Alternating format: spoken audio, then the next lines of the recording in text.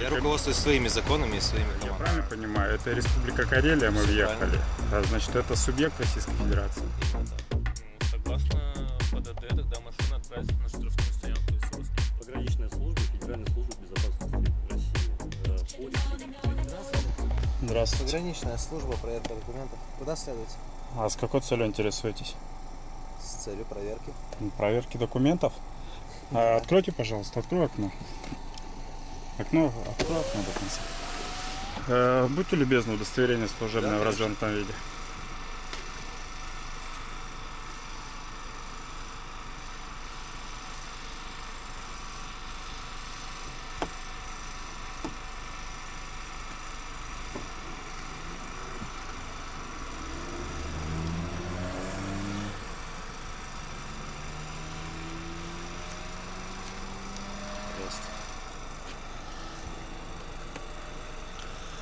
Так, э, Яросков Александр Евгеньевич. Звание, должность озвучьте, почерк неразборчивый. Прапорщик. Э, каких войск Пограничный. пограничных? Скажите, пожалуйста, сошлитесь на норму права, согласно которой мы должны вам предоставить документы на транспортное средство и, соответственно, Статья документы. 30 Закона о государственной границе, Да. В которой сказано, что пограничные органы имеют право мгм. осуществлять на приграничной территории проверку документов у лиц. Время преграждать движение транспортных средств. А Вы руководствуетесь Конституцией Российской Федерации в том числе? Еще раз. Вы же при несении службы руководствуетесь Конституцией Российской Федерации, правильно? И И что там указано в конкретно. статье 15? Я не знаю, что указано в статье Не- Не 15. знаете, да? Я руководствуюсь своими законами и своими командами. А мы находимся на территории Российской Федерации Ну законно. Вот, э, более того, значит, мы имеем право беспрепятственно передвигаться из точки А в точку Б. А я правильно понимаю, это Республика Карелия, мы Всё въехали. А, значит, это субъект Российской Федерации. Именно так. А вот. И в этой просьбе, в этой связи я отказываю вам в передаче документов. Я доходчиво изложил. Вполне. Всего доброго, до Вас свидания. двое едет? Отказываюсь отвечать на ваш вопрос. До свидания. Не нарушайте закон.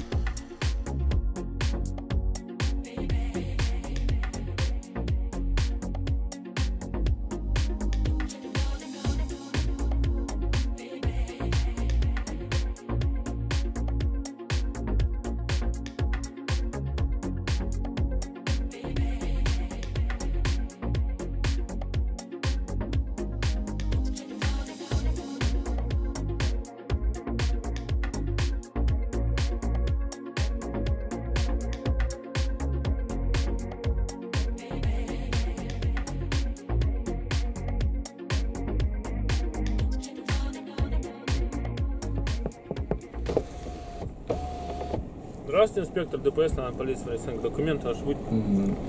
Удостоверение в развернутом виде дайте, пожалуйста. Здравствуйте, готов. Тоже, да, удостоверение в развернутом виде дайте, пожалуйста. А, Борисенко Виталий Анатольевич, оперуполномоченный. Это вы как ко мне обращаетесь?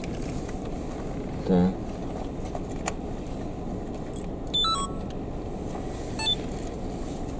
А, лейтенант полиции Павлов Александр Юрьевич, инспектор ДПС ГИБДД. Да, слушай, это что вы мне показываете? О чем? Давай на что лейтенант полиции Борисенко Виталий Анатольевич действительно с 15 августа 2016 года проходит службу в органах внутренних дел с 23 апреля 2018 года по настоящее время состоит в должности инспектор дорожно-патрульной службы отдела взвода дорожно-патрульной службы ГИБДД отдель- отделения МВД России. Так. 20 сентября 2018 год. А до какого она действительно? На ней нет ограничений. Это что за документ такой? Справка. Не знаю, я такой первый раз вижу. Мгм. Что вы, собственно, хотели? Документ ваше водительское удостоверение, свидетельство о регистрации. А основания какие? Для чего вам? Ваш автомобиль двигается без государственных регистрационных знаков. Мгм. И что? Проверить. А я нарушаю? А? Я У нарушаю? вас нету государственных регистрационных знаков на автомобиле? А у нас нельзя так ездить. А? У нас нельзя так ездить. А вдруг ваша машина в угоне, и вы специально? М. Только поэтому. Хорошо, а если это получается, тогда мы будем составлять через протокол, то что я езжу без номеров, правильно? Ну, мы посмотрим, а вдруг у вас машина новая, у вас есть по закону в течение 10 дней вы можете ставить. Так она не новая, вы же видите. А? Она же не новая, вы же видите. Неужели непонятно, почему я здесь, что, и- что я тут делаю? Что вы тут делаете? Непонятно, да, вам здесь? Ну, собственно говоря, тогда... Вы хотите документы мои, правильно понял вас? Дома забыл я их. Документы, удостоверяющие личность. Дома забыл. Все дома забыл. Пробейте по базе, Документы пожалуйста. на машину.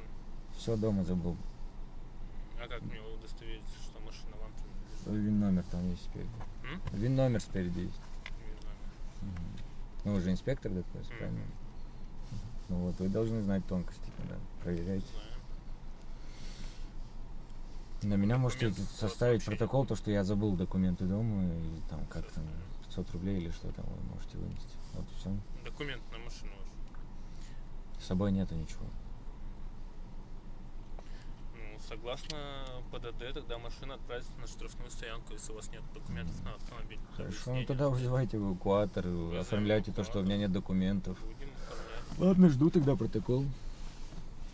Хорошо? Ваши данные назовите мне, пожалуйста. Наверное, щас. М?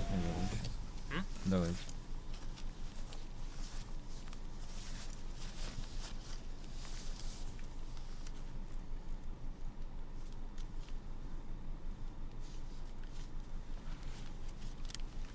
Фамилия, имя, отчество. Фамилия, имя, отчество ваше. Таташвили? Та, та, ш. Денис Геннадьевич.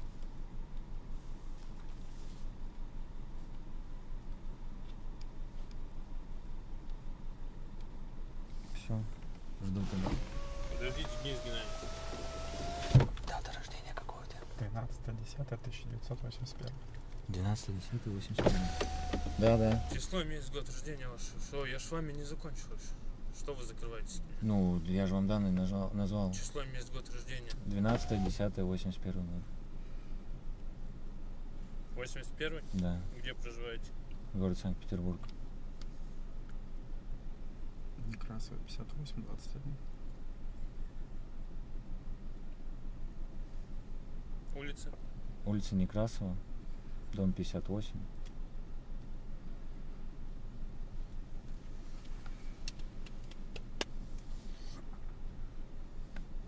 Пятьдесят восемь. Квартира. 20. 21. Вы какие-нибудь документы помните наизусть номер вашего? Нет. А У вас база должна быть, вы можете проверить это в Ну, 5 секунд. Ну вот я жду тогда. Спасибо.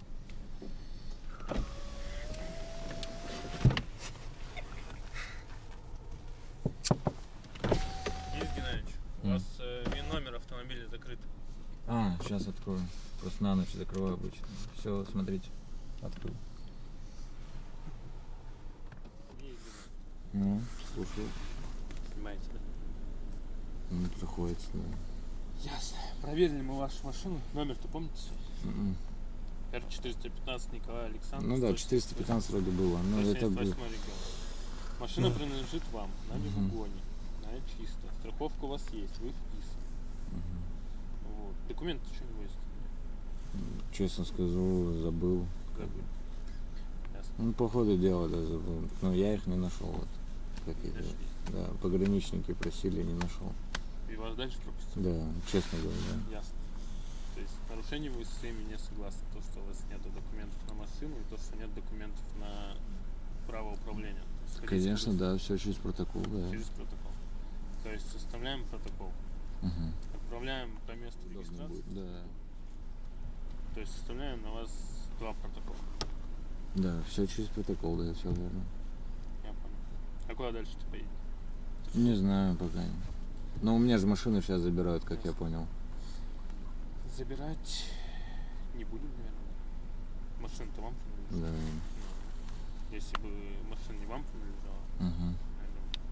Спроси, какие основания для проверки были документов. Понял. При Юридической помощи вы нуждаетесь? Конечно. Нуждаетесь. Да. Когда А вообще-? Такой вопрос. А, Вот если ну, по-серьезному, какие основания вообще были для остановки вот реально? Основания? Да. Ну, согласно пункту 20 статьи 13 Федерального закона, полиция, полиция имеет право останавливать транспортные средства, правильно? Для выполнения своих прямых обязанностей, то есть Мгм. выявления административных нарушений. Правильно? То есть без никаких без никаких заведомо нарушений визуальных, без, никак- без ничего, вы просто взяли и остановили, да, получается? Почему нарушение? У вас нарушений-то здесь много. Ну, по сути. Чего? Правильно? А какие нарушения-то? Какие нарушения? Ну вот, например, без номеров, тонирование. Машина куплена. Так машина ж, я же объяснял то, что она куплена, по сути. Ну, Да. ну, Номера в утрате. В базе-то она есть. Так я же объяснял номера в утрате, это что же говорил? Да.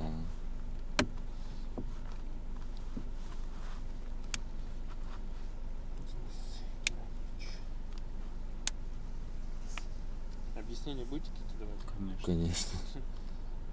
Где у вас номера? Да, все буду писать объяснение. Вам бланк один? Нет, в Не, протоколе. не, в протоколе напишу. В протоколе?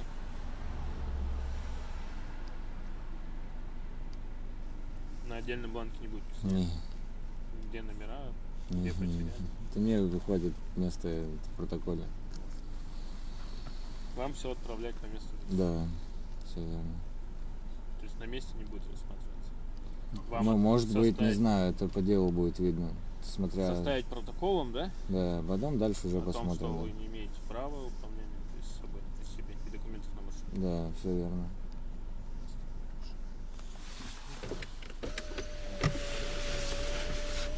Здравствуйте. Да, здравствуйте.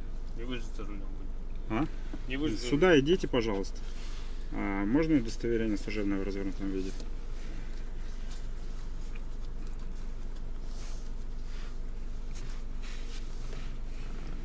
Ну, можно поближе, меня зрение не вижу. Э, Так, э, Борисенко Виталий Анатольевич, оперуполномоченный, 15 января 2023 год. Виталий Анатольевич, мне бы сотрудник э, ГИБДД нужен. А почему вы оперуполномоченный у нас в форменном обмундировании сотрудника ДПС ГИБДД? Да, скажите-ка, пожалуйста, а на каком основании вообще вы осуществляете? Справка дана настоящая, что лейтенант полиции Борисенко Виталий Анатольевич 09 1988 года рождения, 15 августа. Мгм. Инспектор дорожной патрульной. ГИБДД, отдел МВД России. Приказ отделения МВД России по Сартоваловскому району за номером 109 ЛС от 20.04.2018 года. 20 сентября 2018 год, вы представляете? А сегодня у нас 25 сентября 2019 год. И как так вам целый год делают удостоверение Ну, служебное? Согласно службе закону, службе в органах внутренних дел, вам должны выдать все-таки что? Удостоверение. У меня есть одно. Этого недостаточно. Значит, э, у меня вопрос. А, Данный гражданин, он задержан? Да, составление административного материала. Какого именно? Коим езда без водительского удостоверения. То есть я правильно понимаю, а в его действиях состав административного правонарушения по 12.2 или по 12.3, часть 1, Часть 2. Часть 2. часть 2, да?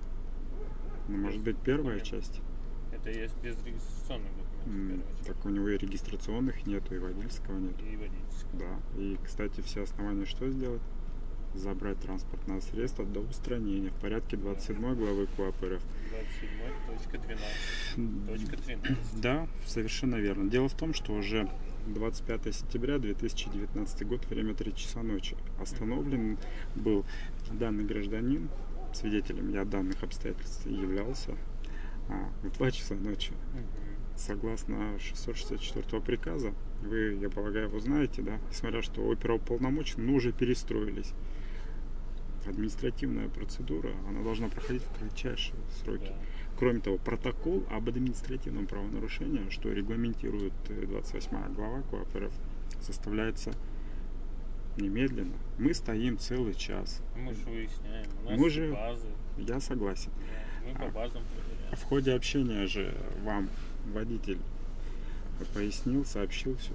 Вы перепроверили, и ваш коллега подошел и поинтересовался, такая-то такая машина, форма такая. Денис Геннадьевич, так, так, Мгм. все, вопросы закрыты. Номера в утрате.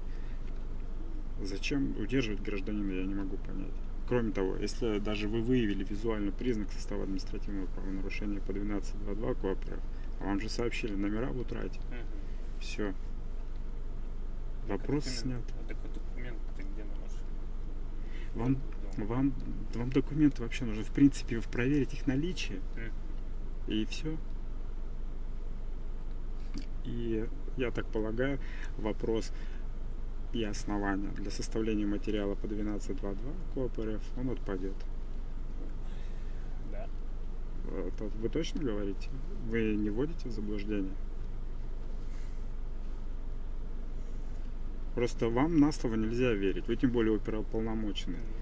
А Вы, у вас специфические, понимаете, а, ну, такая, такая обязанность, тем более вы со всякими субъектами работаете. И порой идете на такие а, вещи. Ладно, это уже другой вопрос. Ну почему другой вопрос? Просто, честно говорю, вот с вами начинаешь по закону разговаривать, вас это как-то приводит в чувство. Начинаешь вроде идти у вас на поводу, на неформальные взаимоотношения, вы зачастую э, поступаете не по-мужски. Но вы сами, что самое интересное, готовы идти на неформальные отношения ввиду того, что базовых знаний не хватает юриспруденции у вас, у вашего брата. Вам идешь навстречу, а потом обман, ввели в заблуждение. Сколько у меня с доверителями было, А вы как представитель адвоката? да? Естественно. И мы сейчас просто, я вам говорю, мы сейчас это дело и прекратим здесь. Просто смысл, время. Вы, да, вы наделены правом остановить транспортное средство. Так я же согласен. 20 пункту Да. стать 13 статьи Федерального закона о полиции. Имею право останавливать Да. транспортное средство. Имеете право, да. Там, опять же, определенные обстоятельства. Я не хочу сейчас углубляться. Почему? Потому что визуальный признак есть по 12.2.2 КОАП РФ. Как, бы, как основание, да. Вот. Вы сейчас проверили по базе ФИЦ. Мгм. Выяснили, машина не в розыске. Машина не в розыске, Вот. машина через номера мы ее тоже проверили. 415. Да, все в порядке с Все ней. в порядке. Ну, а, а- а чего дальше-то? Зачем вот усугублять вот это? Да никто не усугубляет. Вот. Мы сейчас, повторюсь, вот как вот приехали, так и уедем отсюда. Вот. И материала не будет, что самое интересное. А если он и будет, то производство будет прекращено. И прекращено в городе Санкт-Петербурге. А прекращенный материал вами составлен, либо вашим коллегой, а, повлечет за собой что? Согласно, опять же, такие законы. Да, о службе в органах внутренних дел служебной проверки. И вот сотрудник, вот сейчас вы сидите и думаете, да, Мгм. все в порядке. Зачем мы, вот зачем? Адекватные, трезвые, в розыске не находятся. Да. Не, вот самим не проще вот так просто. Всего доброго, до свидания. Так, давайте попрощаемся. Мне было очень приятно с вами пообщаться, что вы нас услышали. Мы не задержаны, мы едем дальше. А в неформальной обстановке можно с вами пообщаться? Со мной? Да. Сейчас. Все, ребят. Документы так остались и непроверенными, факту. Мансур Мусаевич, как вы видели, представился Денисом Геннадьевичем.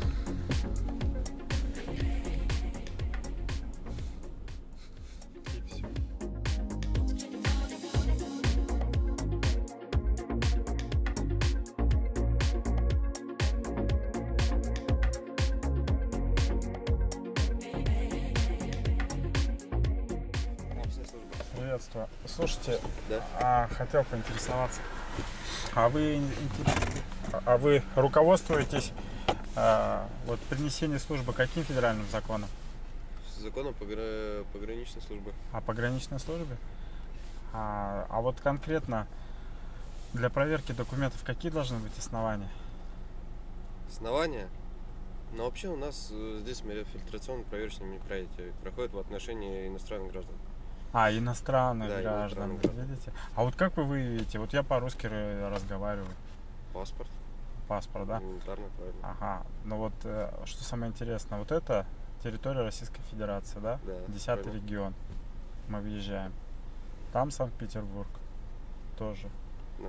Да. Гражданин находится, вот он будет просто собственными объяснениями подтверждать, что он гражданин Российской Федерации. А у нас в статье 27 Конституции Российской Федерации указано, что гражданин Российской Федерации, собственно, на, который на законных основаниях находится Ага. на территории Российской Федерации, имеет право беспрепятственно передвигаться. Как вот в этом случае вы будете действовать? Я, например, заехал сюда, так как я считаю, на законном основании, не передав, не предъявив документ, да, вот с вашим коллегой мы общались. Вот, вот как вот здесь вы будете действовать? Я объясню. А? Значит, э, Ланденповский район считается приграничной территорией. Ага. Э, Закон о государственной границе, федеральный закон, 4370 от 1 апреля 93 года, Ага. пограничники на приграничной территории имеют право проверять документы мгм, и осматривать транспортные средства. В мгм. принципе, вот так. Из этого, да, вы исходите? Ясно, понятно. Очень интересно. Э, Дело в том, что права и свободы гражданина и ваш э, собственный закон, там указана норма, а, вот, что могут быть ограничены только на основании федерального за- закона. Понимаете, даже несмотря на то, что гражданин иного государства проезжает, да, вот здесь вот, просто так нельзя проверить. Я понимаю, когда вы въезжаете, допустим, в Финляндию, там, да, там другой, да, закон. Но тут тоже у нас получается Российская Федерация, Санкт-Петербург, Карелия, Санкт-Петербург. Так точно. А вы выборочно останавливаете автомобиль? Ну, вообще должны полностью проверять. но Полностью, мы да? просто не справляемся. А ваш, э, вы а закон о пограничном, вы к ФСБ относитесь? Так точно. К ФСБ, да? Ясно. У нас вот здесь стенд висит. Там Ага. все законы. Можете подойти, просто посмотреть, почитать. Да, слушайте, я все знаю. Я просто мне по, по- интересно воочию так с вами пообщаться. Вот, собственно. Вот. Ну, честно говоря, естественно, мы смотрим э, подозрительных. Во-первых, э, машины по ориентировкам, Ну вот люди вам. по ориентировкам. А, ваши тоже ориентировки. Да, Вы же в конечно. силу закона взаимодействуете с органами. МВД, ГИБДД. Естественно, А вы кто в звании? Старший прапорщик. Прапорщик, да. Поэтому, естественно, в первую очередь иностранцев. Потому что очень много бежит, пытаются бежать. Через границу. Марокко, Иран, Ирак, там как бы и очень много, и буквально каждый день мы снимаем практически. Вот. э, Росси- граждане Российской Федерации много по ориентировкам, в основном э, психически нездоровые люди, э, значит, либо... А вот как вы выявляете, вы же не врач, или вы визуально смотрите его поведение? А, то есть в я ориентировках, да? если Мгм. лицо подозрительное, либо документы посмотрел, фамилия и совпало с ориентировкой, тоже, Мгм. конечно, как бы смотрим, действуем. Мгм. Просто, Много а, вот, людей потеряшек, то же самое, они Да. тоже в ориентировках. а как вот физически вот это вы выявляете? Вот вы в бронежилетах, да, там у вас видеокамеры, жезлы, а там э, что, оружие у вас, да, огнестрельное. Но вот он взял в акселератор, нажал и пошел.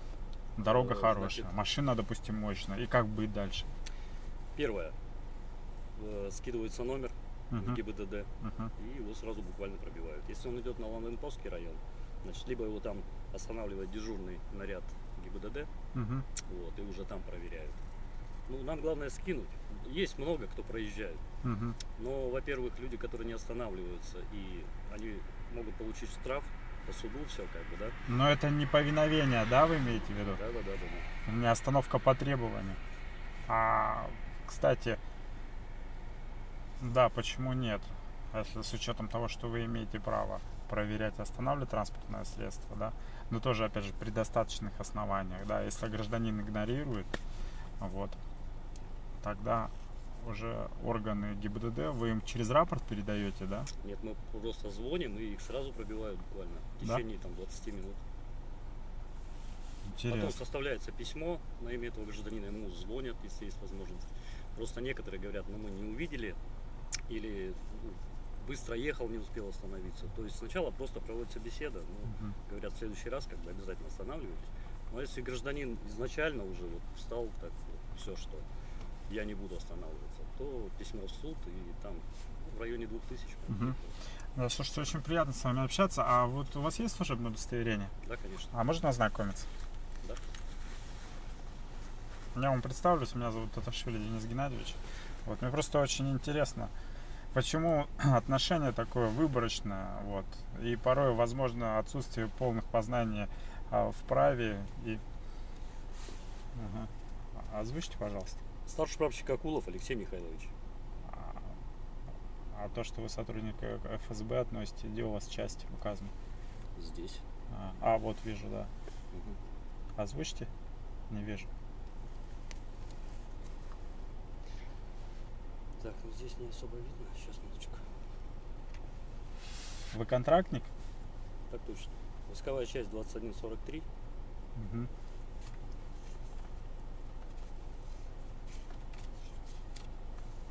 Так, часть здесь, наверное, не видно будет хорошо.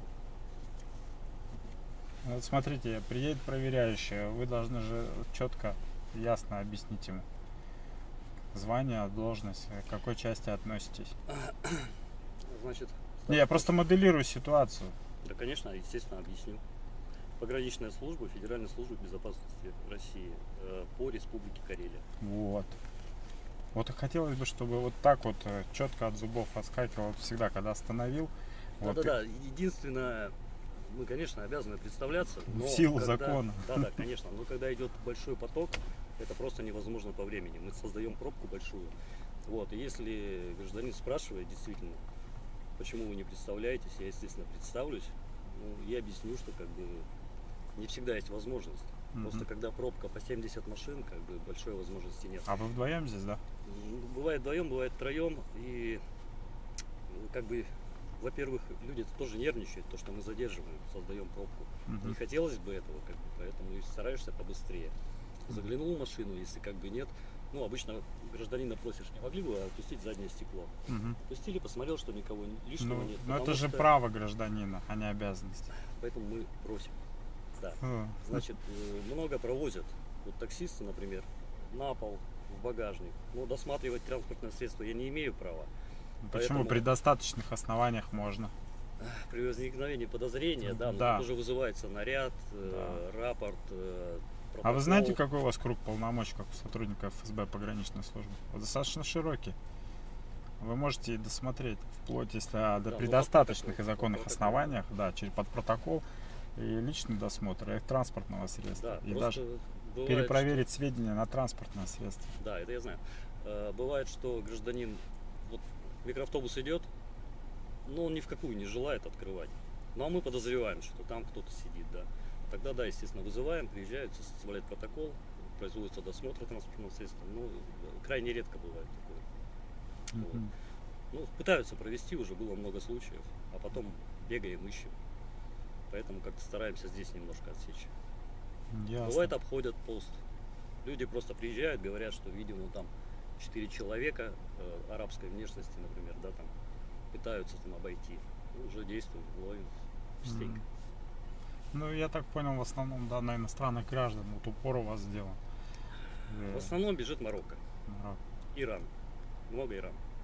Бегут семьями. Да.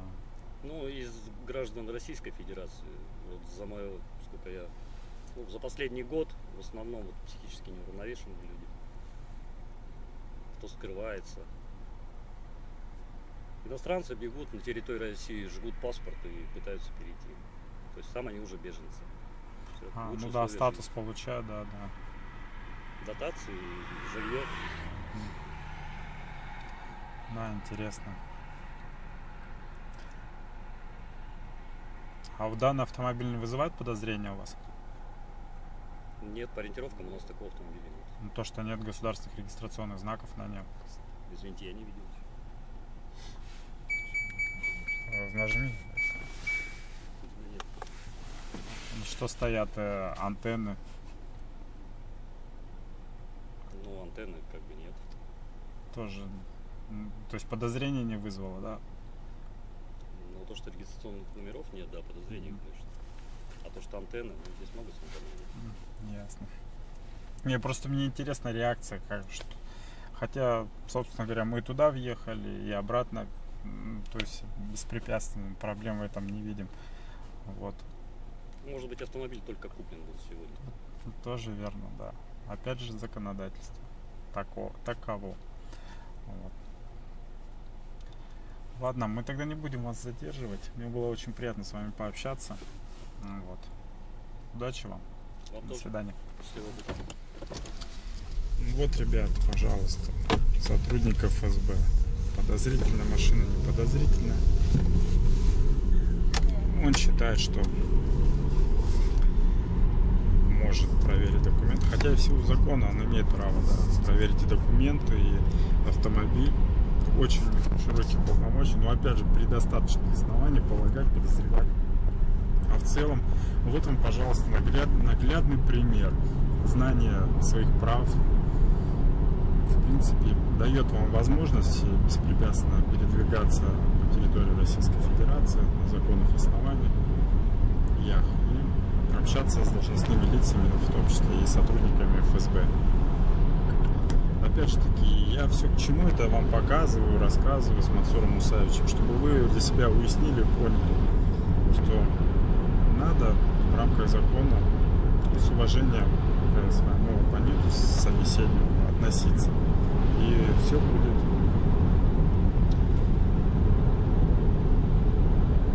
все будет соответственно отношение к вам соответствующее со стороны сотрудников.